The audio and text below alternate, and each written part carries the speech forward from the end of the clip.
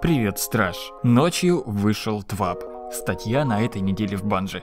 Я когда-то делал ночные короткие выжимки, но в этот раз коротко совсем не выйдет. Статья получилась объемной и, что самое важное, о наболевшем. Так что устраивайся поудобнее и давай читать вместе. Все мы знаем, что сейчас игра переживает не самые свои лучшие времена. Проблем море и, конечно же, все мы хотим с ними скорее распрощаться. Ждем комментариев от студии, что они предпринимают. И вот, наконец-то, разработчики открыто рассказали о том, как они собираются исправлять самые острые проблемы в игре. В этой статье коснулись двух тем – испытания Осириса и читеры. Да, самое горячее – Однако банжи отметили, что в ближайшее время еженедельные выпуски будут затрагивать ту или иную проблему, и мы еще неоднократно услышим от них столь подробный комментарий о решающихся проблемах. Начнем с ивента испытания Осириса, о проблемах которого я делал аж два видео на канале. Мы писали об этом в группе, куча моих коллег и просто игроков знают эти проблемы, так что подробно сейчас повторяться не стану, а лучше перечислю главные пункты и то, как Банжи планирует с ними разобраться. Итак, проблема номер раз. Фарм жетонов побуждает игроков обнулять карточку после каждой победы. То есть игроки далеко даже не самого низкого скилла просто фармят первые игры. Они самые легкие, так что почему бы и нет. Однако это здорово ломает экономику ивента и наносит удар по мотивации других игроков. Какое решение видит студия? В 11 сезоне за достижение 3, 5 и 7 побед игроки будут получать определенное количество жетонов испытаний, а наличие карточки на фарм жетонов, это та что богатство, увеличит это количество. За безупречный же билет вы получите еще большее, значительное количество жетонов. Это должно мотивировать игроков не сбрасывать билет, идти до самого конца и тем самым получать шанс наролить нужные предметы при сдаче коинов с большим шансом. Сработает ли такая система? Безусловно, да. Вторая проблема, которую назвали в статье, испытания не награждают игроков, которые застревают на одной-двух победах. Думаю, многим знакомо, если вы не самый частый игрок в PvP, или если вы как раз из тех, кто пишет мне в комментариях, что он забил на испытания и не пытается даже. У студии есть для вас решение. Один еженедельный контракт за выполнение которого игроки разблокируют одну шмотку или пушку у Сейнта 14. Полученная награда будет сопоставима с наградой за 3 победы на неделе. Допустим, если на выбранной неделе за 3 победы дается снайперка, то контракт тоже выдаст снайперку. При выполнении этого контракта игроки получат доступ к сдаче жетонов испытаний и соответственно могут сдавать токены и увеличат свой шанс на хороший лут с Осириса. Правильно ли это? Для большинства простых игроков – да.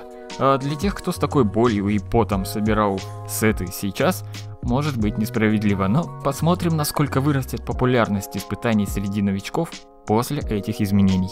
Еще одна проблема – награды за безупречное закрытие несопоставимы с наградами с других эндгейм активностей. Другими словами, разочаровывающие. Это, пожалуй, самая больная тема для тех, кто Осирисы любит и закрывает. Каково решение студии? Будет увеличен шанс получения материалов для прокачки брони. В 11 сезоне материалы для прокачки и инфьюза будут падать за достижение 3, 5 и 7 побед. А в 12 сезоне может быть добавлена дополнительная карточка для фарма материалов. ПВЕшеры фармят мастер налеты, а ПВПшеры Осирис. Окей? Окей. Главное, чтобы падало сбалансировано.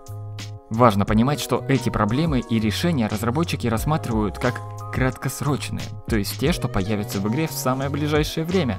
В долгосрочном же будущем банжи собираются добавить новые версии пушек, адепты за безупречное закрытие, примерно как в первой части. На данный момент эта идея выглядит в умах студий так.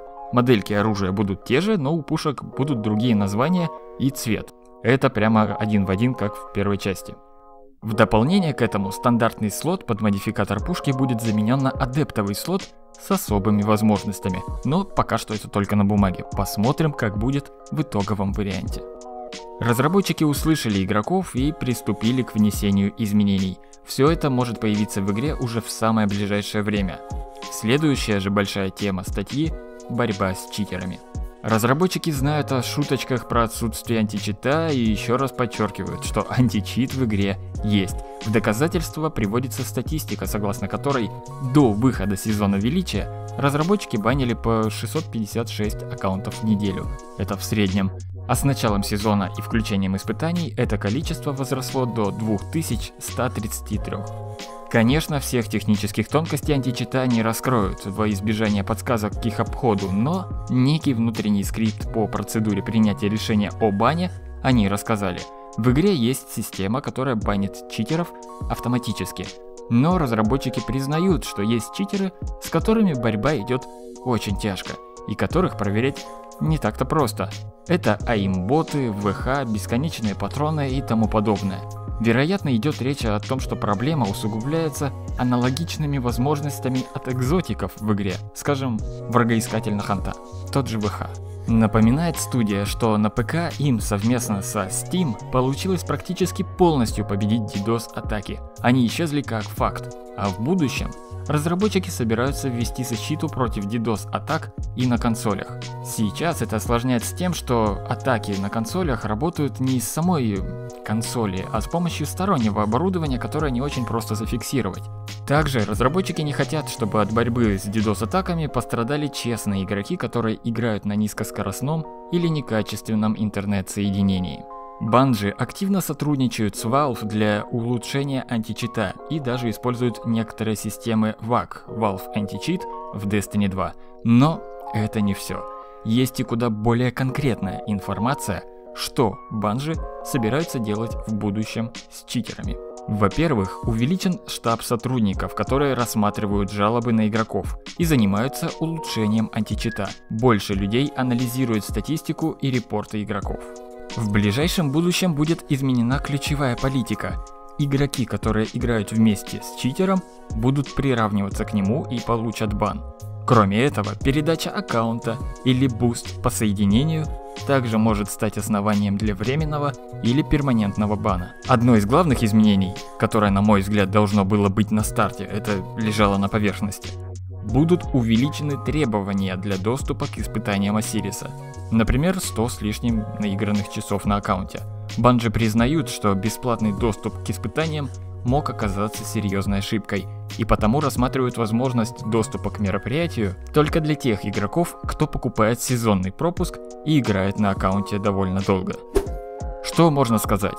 Я рад этому диалогу, я рад пропавшей формулировке «все будет», рад слышать конкретные детали. Жаль, пока не ясно точно по срокам, но формулирование этого как краткосрочных мер уже обнадеживает.